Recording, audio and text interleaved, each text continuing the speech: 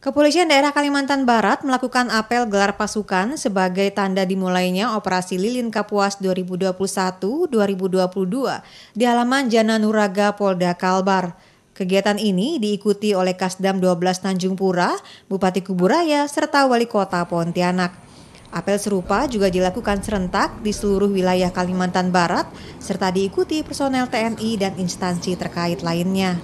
Dalam operasi pengamanan Nataru yang akan dimulai pada 24 Desember 2021 hingga 2 Januari 2022, lebih dari 2.800 personel gabungan diterjunkan.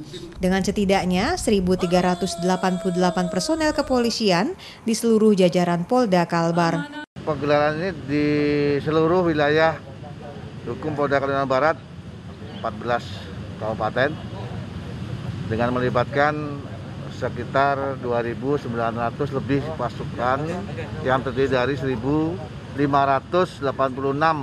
dari instansi terkait dan 1.388 personel uh, Polri seluruh jajaran Polda Kalimantan Barat.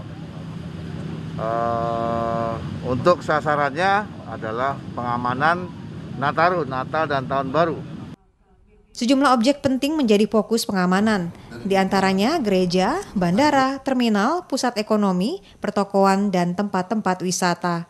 Selain memastikan pengamanan kegiatan masyarakat, operasi ini juga untuk memastikan penerapan protokol kesehatan mencegah penyebaran virus COVID-19. Anugerah Kompas TV Pontianak, Kalimantan Barat.